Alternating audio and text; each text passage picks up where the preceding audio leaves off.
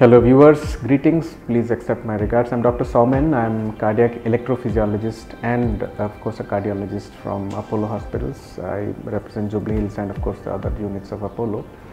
Um, our the field that I uh, uh, represent or I practice is, is mainly about cardiac rhythm disorders or cardiac arrhythmias.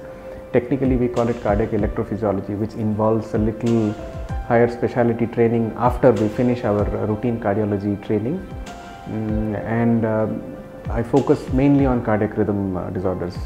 Normally these rhythm disorders can be innocuous to life threatening, people can lose their lives because of um, serious uh, arrhythmias and they can sometimes be just uh, seriously disturbing with a bad disturbance in quality of life.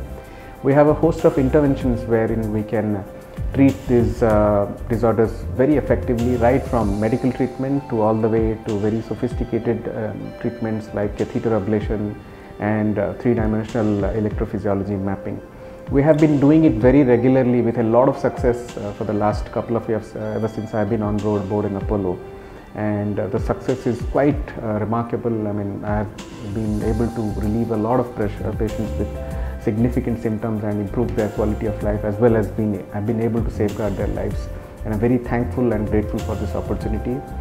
Um, in this particular technology we are actually we actually get into the heart doing an intervention similar to an angioplasty or stenting that is common knowledge. So we get into the heart and we do a detailed electrical mapping of the cardiac rhythm using sophisticated techniques we actually able are able to see cardiac signals in great detail in front of uh, large monitors in front of us and thereby are able to diagnose uh, these cardiac abnormal electrical circuits so called circuits in uh, these diseased hearts.